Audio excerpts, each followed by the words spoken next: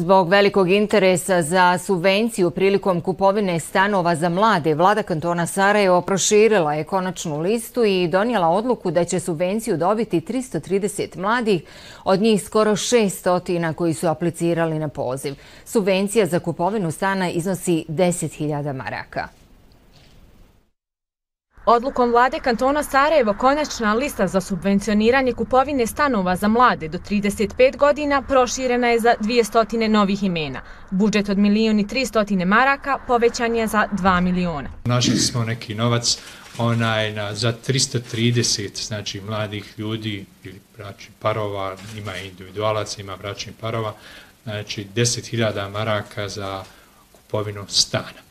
Pored starostne dobi, uslov za ostvarivanje subvencije bilo je državljanstvo Bosne i Hercegovine sa prebivalištem u kantonu Sarajevo. Kupovina stana, odnosno nekretnine, je morala biti prva. Da par ili pojedinac ne posjeduje nikakvu nekretninu do sada, da e, to dokazuje sklopljenim notarskim ukupo-prodajnim ugovorom za nekretninu. Uslov je bio da Mm, se nekretnina ne kupuje od najbližih srodnika.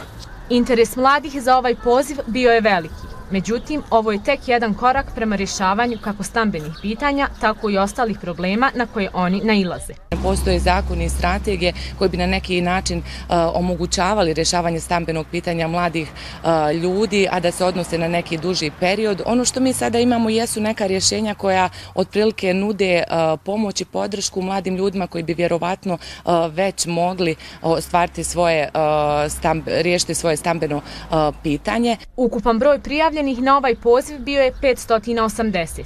Dodjela subvencija za kupovinu stane ili kuće bit će u septembru.